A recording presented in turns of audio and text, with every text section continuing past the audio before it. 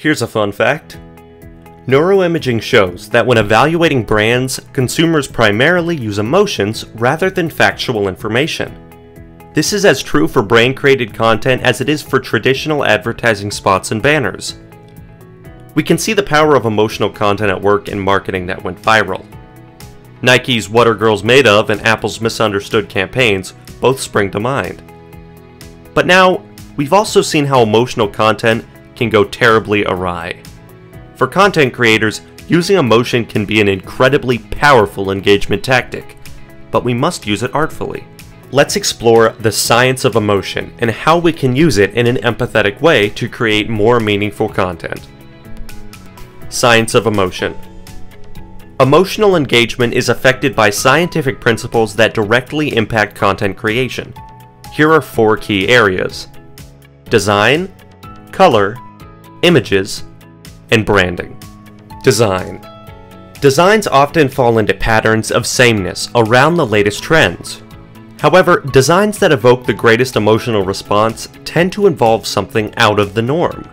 Elements of surprise can prevent consumers from forgetting about your branding and marketing.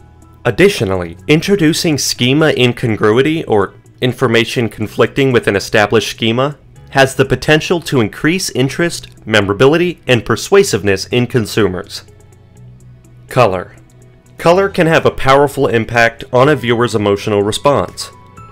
Studies show visuals in color can increase people's willingness to read a piece of content by 80%. Using specific colors can have significant impact on mood, for example.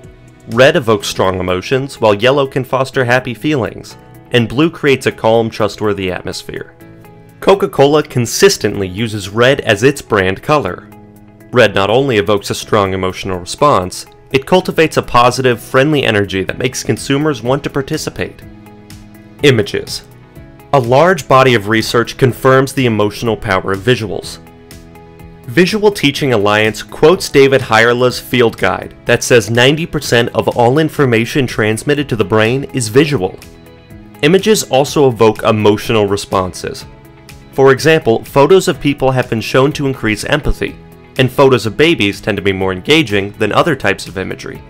In one case study, a South African financial institution sent 50,000 direct mail pieces featuring an image of a person, in some, the person was the same gender as the recipient. In other cases, the person in the photo was the opposite. For male customers, using a photo of a female in the other letter significantly increased response.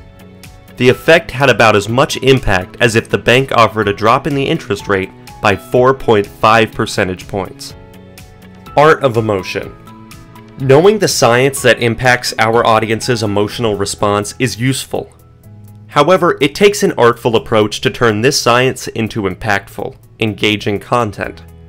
It's all too easy for brands to misuse psychological levers in an attempt to make an impact on viewers or readers. As content creators, how do we walk the line between good emotional engagement and audience manipulation? It takes empathy, continuous refinement, and above all, a relevant story. Start with your audience's motivation. Inspire trust with a believable story. Invite people to actively participate. Create a full emotional arc. And use data to optimize your approach. The bottom line is, emotion is the key to driving strong engagement with your content. Using the science of emotional resonance in the art of creativity, you can design stories that appeal to your audience in a meaningful, real way. These stories will inspire members of your audience to share and will keep them coming back for more.